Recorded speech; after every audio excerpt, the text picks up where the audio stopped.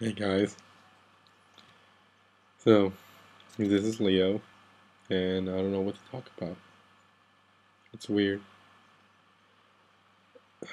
I can't sleep. It's beyond midnight. It's like one after. And there's a shit ton going through my mind. There's a lot that I want to do, and it's that I don't know what to talk about for people who happen to stumble onto my YouTube channel. Um, I'm gonna say I'm Leo. This yeah, I've been playing my Nintendo 3DS, but okay. Introduction. My name is Leo. Um, in the army, currently in Germany.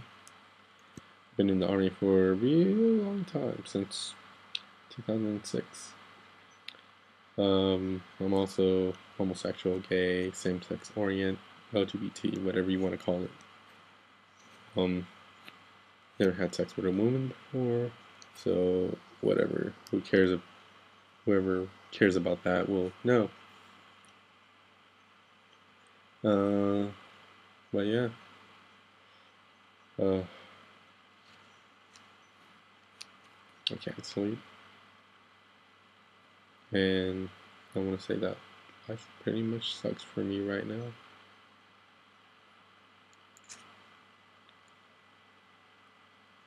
Shit that has been going on with my life. Um,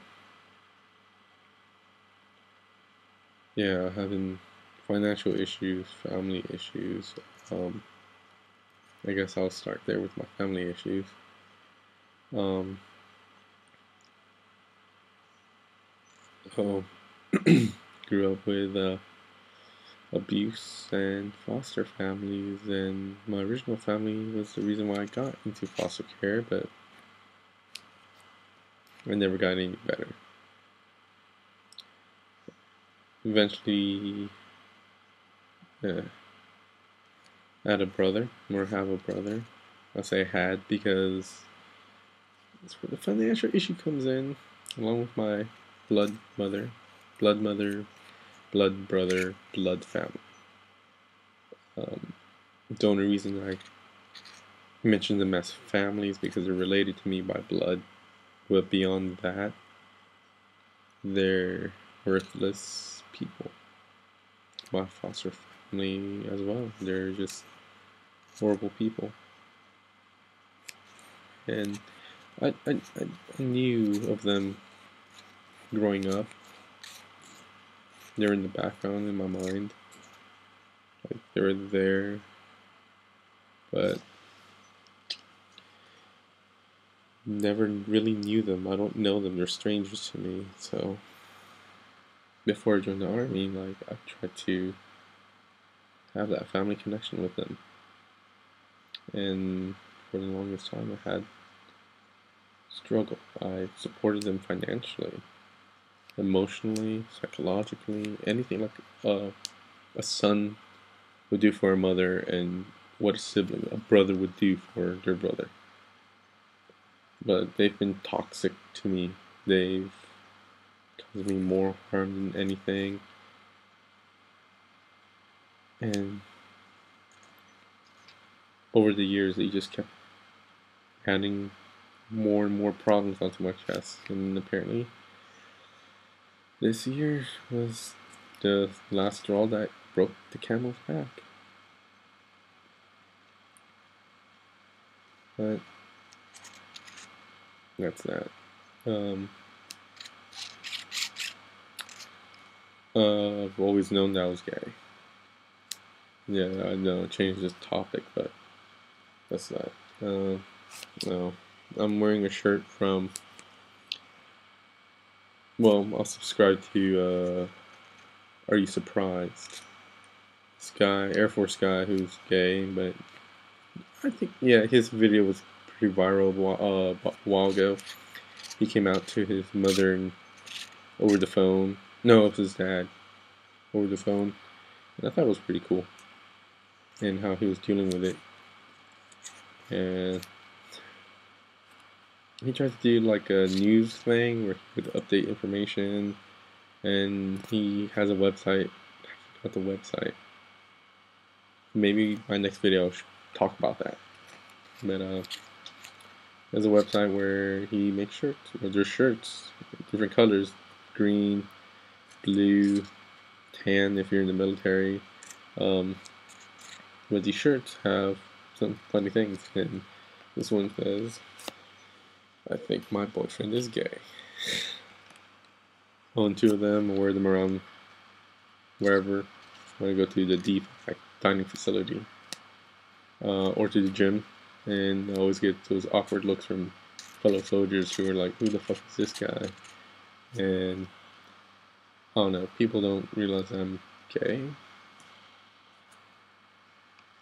Which is weird. Like, uh, I mean, I don't know. So yeah, like my childhood, psychology is like one of the major things that I in like. I want to be a psychological anthropologist. Um, so being abused, so being abused growing up, I quickly distrusted people and hated them and wanted to find out ways to know if someone was lying or everything, and then got into psychology human body language and all that stuff really taught me a lot. But it, things changed over the years, and when I joined the army, things got better. Learned different things and opened to different a whole bunch of stuff. And yeah, I don't know. I forgot where my train of thought was on that.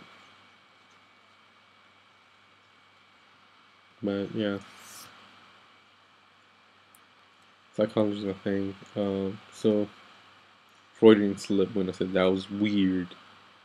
Like you know, it's weird at the gym when people see my shirt. They give me weird looks, and me saying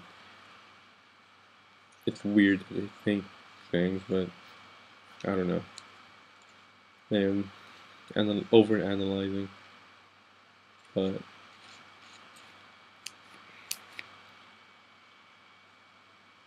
I am.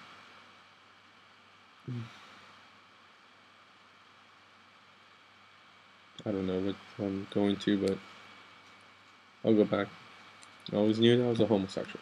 That I, I like men. I preferred men. I was attracted to men. And um, I was born uh, raised in Texas, born in Texas as well, but raised in Texas and Guatemala because I'm Guatemalan. And um, when I was 14. Uh, when I was open. I did have a girlfriend at the time, and because I was supposed to have a girlfriend, I guess, as a boy, my age. But told she wanted to have sex with me, and I couldn't lie anymore why I was holding it off, and then I had to explain that, yes, I'm gay, and she made a big deal about it. And a few very close friends knew, and then she ran off and exposed me. But cool, whatever, I dealt with it. And grew up with hardships. Random people hitting me, fights. I got hit with lead pipes, random chairs, um, knives, and random things.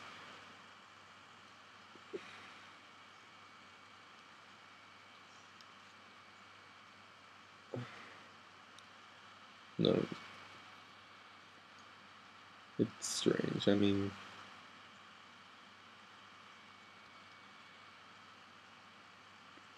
why I can't sleep. There's so much things that are going on from one bullshit to more bullshit. And really? I feel hopeless. I feel hopeless.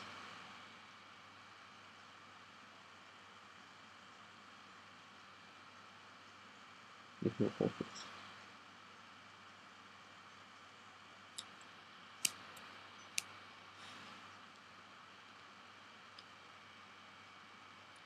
And who knows?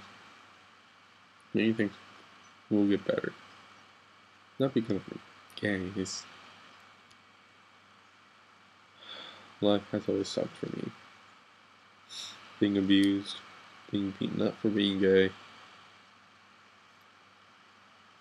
trusting people, hoping that they'll be there for me. And work. Military is, I mean, I know it's hard. Life is gonna suck. There's gonna be those shitty days. But I mean, I've seen a lot. There's a lot of good in the world. There's a hell of a lot more evil, despicable, disgusting things in the world.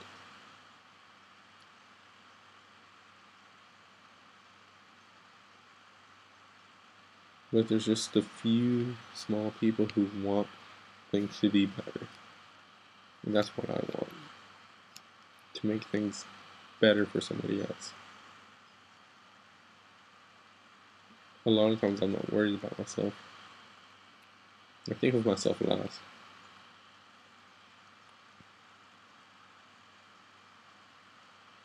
The only times I do worry about myself is when I'm here in my little room by myself. I'm here in my room by myself. What? What? What's gonna happen to me?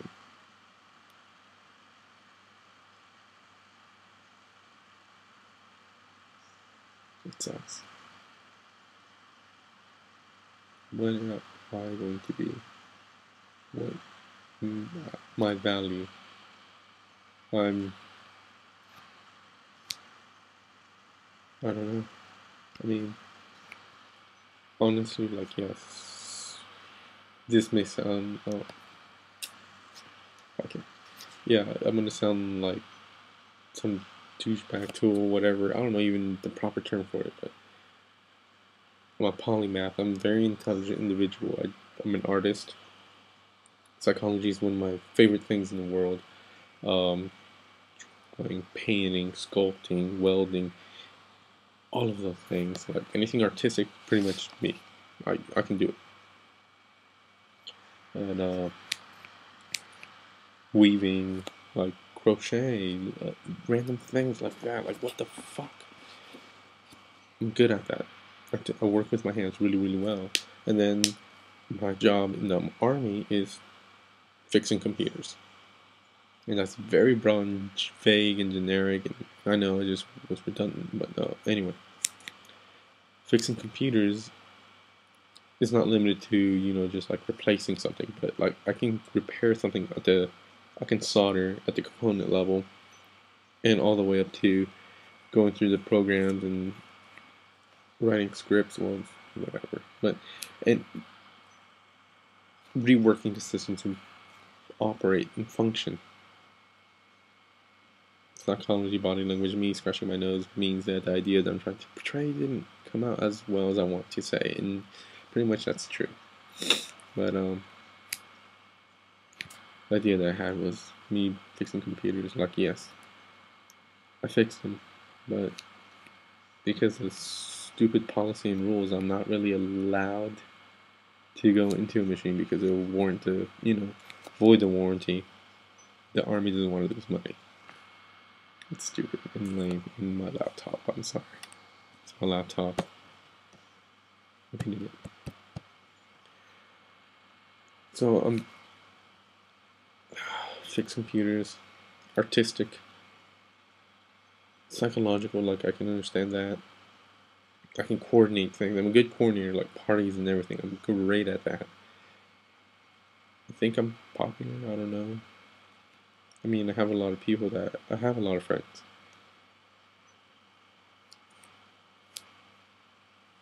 But I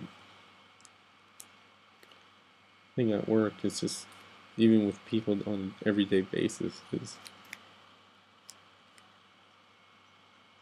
I can talk to someone straight into the face for five minutes And 20 minutes later, that person cannot remember the conversation I had with them. At all. And last week at work, the army has this little hold my hand parent weird thing going on where I have to tell my supervisors appointments and medical stuff I have going on. Well, I told three individuals, three, that I had an appointment the following morning. Not to expect to see me next morning. Two of them are a certain rank, and one of them is very like the ranking system in the military is kind of weird, but like one of them, two of them E5, one of them a chief.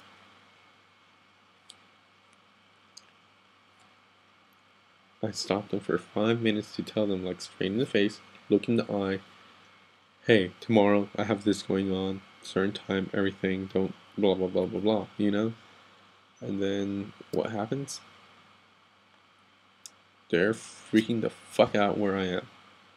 They're not tracking me. They're like considering I'm going AWOL and all this shit, and I'm like coming back. Um, I was fucking there like early in the morning around like um, 6:50, getting my supper. Uh, 6:50, Got to be there. Uh, the army has this thing 50 minutes prior, and then all this stuff. But whatever.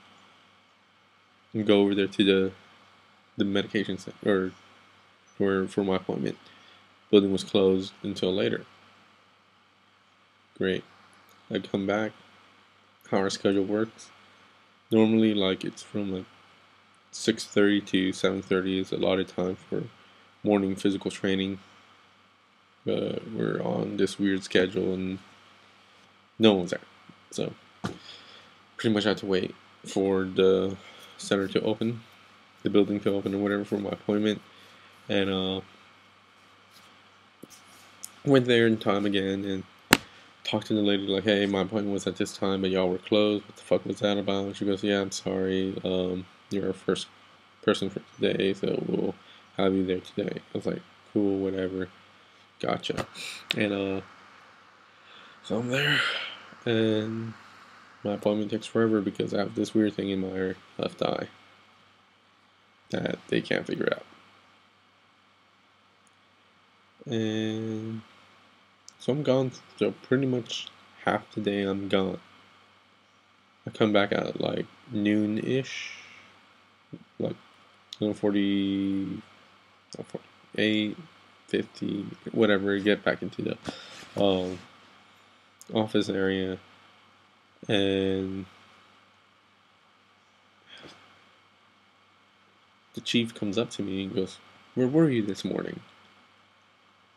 I look him straight in the eye and go, I was at my appointment. And he goes, Did you tell anyone about your appointment? And I go, Yes, Chief. I told you yesterday about my appointment. And he looks at me, confused. And I tell him, Yeah, you were standing there in front of your desk. You were looking at your screen. But then you had this question about like what blah blah blah blah blah. Like we had this thing going on and that he wanted me to fix because it's what I do. Like it was to, something crashed on there and I had to fix. And I explained how to fix it, and then right after that, it goes, "Hey, by the way, I need to tell you this. I have disappointments in the morning because you told me earlier within the day I needed to go on my routine thing, and now it's coming on my routine uh, vision readiness is what it was. They track you in the military system, and kind of like the dentist appointments, they have the optometry appointment where you have to do checkups, and I just need to check up, but then things took longer because I have something fucked up in my eye. I can see 2015 so it's better than 2020. But I got this thing in my eye that optometrists can't figure out. So I told them, hey chief, yeah, this was what happened, whatever. So that's what went on. He looked at me like I was fucking high, like I didn't know what the fuck I was talking about. Like he couldn't remember, and he knew that I fixed it, but he can't remember the conversation. And then he thought about it. and He goes, I don't even remember you fixing it. I remember having the issue, and it was fixed, but I don't remember you being there at all. And I'm looking at him like, how the fuck? And that day, like, I talked to the other, the other sergeants, and they don't remember me being there at all. The following day, there in the entire weeks, no one remembers me. Like, I can apparently sneak around people, and they can't tell that I'm there at all. And I'm a big guy, I'm six foot two, around 220 pounds of fat, some fat and some muscle, and some muscle. I have a belly, not bad, but whatever. But fucking huge. How can the fuck can you miss me? Like, how can you not see me? Not realize I'm in front of you? It's stupid. People forget about me. That I don't exist, and it's just so depressing if you think about it. You think about it. That you aren't important enough to remember. Even when they look, when you look at someone dead in the eyes and tell them information, have conversations up to like 20 minutes and not be remembered. And my laptop just went to sleep. So yeah. How bad that is? It's really, really annoying.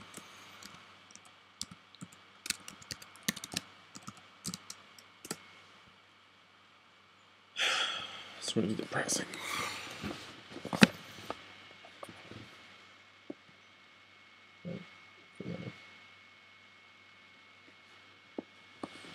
So there's that. Not existing It's one of them. Then being this intelligent male who's attractive according to people that I've dated or met, they're like, oh wow, you're perfect, you're hot, all, all this. You know, you're everything that I wanted for in my life. Either ghost me in relationships, fall out of love, fall out of love, or just just disappear, and never heard, you know, go, yeah, ghosted, I guess. And then, or just don't want to date anymore. They're like, whatever, and then they find somebody else. I'm like, and they're treating them like shit, and they're like miserable, but they don't want me. Rejected.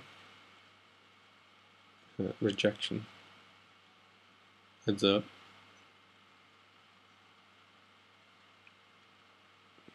being rejected constantly. I kind of like gave up on searching for a relationship anymore now. There's no real reason. I need to pursue my intellectual interests. But deep down inside, like I can feel that I want that warmth. I want that other person there.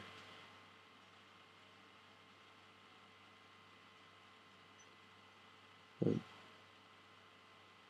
don't think I'll ever find that individual. Doesn't function properly. Well, doesn't work well in the military. Because other military soldiers, especially on this base, are too concerned about their appearance of having other soldiers think that they're homosexual in any way. Being gay apparently is the worst thing in the world to be if you're a male soldier.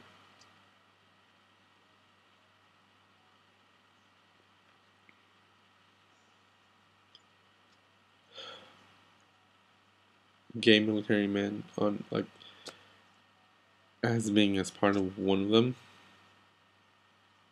you find oh, they just want to fuck. A lot of times they just want to fuck. They don't want a relationship. You can say like, "Hey, you're in the army. What the fuck? Why are you saying some bad things?" Oh yes, yes I am. But I'm not your average military guy. Actually, they say it in the army that there are those people who are soldiers, and then there's those who wear the uniform. And I used to be those was a soldier, but being in this unit, how bad it is and everything, I've lost it. I woke up one morning, putting on my uniform, and I looked in the mirror, and I can see that I was just wearing a uniform.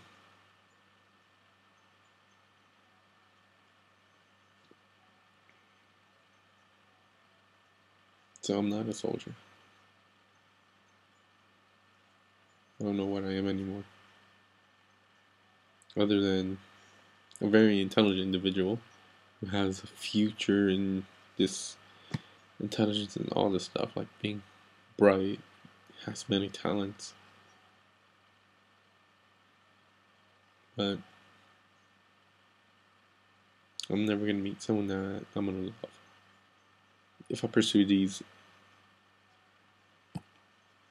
goals of mine, being a psychological anthropologist, it's gonna take years of studying, devout studying. I can't have time to go out date and meet people. If what I want to reach and accomplish get my PhD like before I'm 40. Yeah. And then well,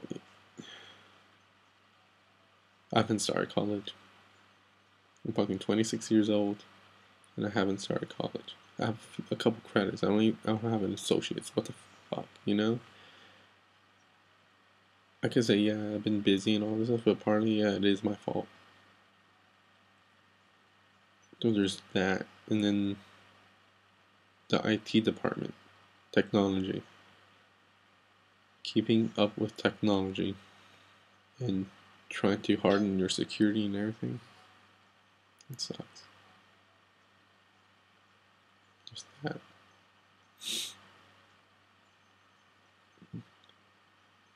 But yeah, this video's been long, so whatever. Guess I'll say goodnight now. I mean, it's fucking late for me. So, night.